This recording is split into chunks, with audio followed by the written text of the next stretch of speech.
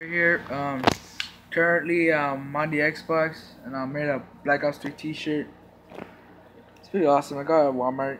Not that cheap at all but i still got my headsets right here that i use to make the videos. So currently i'm in the party with a couple friends. So i just noticed i'm I'm in another vlog just moments ago so if you want to check out the vlogs um well I'm, i won't be making out vlogs that much but um college was updated and huh windy.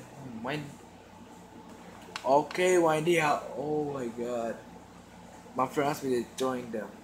So I'm Roblox but I'll play Call of Duty actually because I haven't played Call of Duty in a while. So yeah I think I should if you think I need a haircut for tomorrow's for, for tomorrow's tomorrow Thursday school just comment down. Um yeah I'm actually getting a haircut today. See how long I can take me back before tomorrow Let's see what time it is. Come on. time. Luckily, I got about a couple more hours until I go to sleep, and um, probably see you guys um later. So I'll see you later. Bye.